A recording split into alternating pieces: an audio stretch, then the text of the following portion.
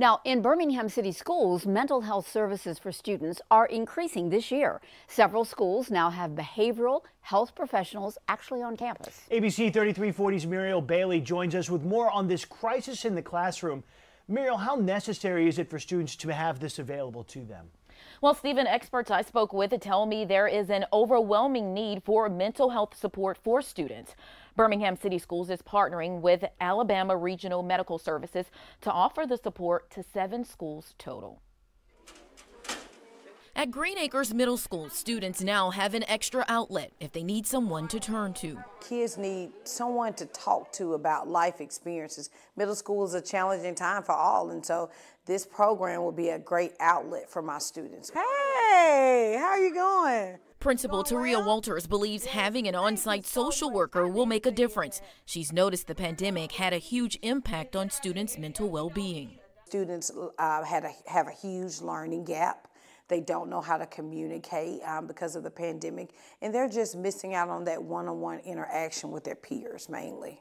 Our dollars are holes. Alabama Regional Medical Services will place a licensed social worker at the seven selected schools. Each one of our counselors will have two schools apiece that they will spend uh, 20 hours per school each week on site.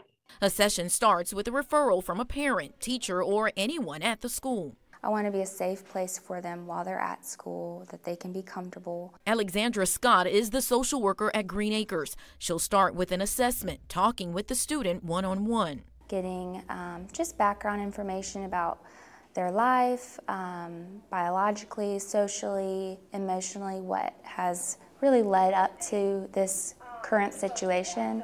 From there, she'll work on resolutions and goals. It's great to just have an, uh, an advocate here at the school that can work with them while they're here in this environment that they're typically in. Walters believes that this will create a ripple effect. Sometimes kids are struggling with academics because they don't know how to communicate with effectively communicate. And so ARMS will be that bridge for us to allow us to effectively communicate with those coping skills and that'll make them perform a little bit better in the classroom. Now, the schools will also have telehealth equipment, so if a social worker is at another site, he or she can still talk with the student who may need help.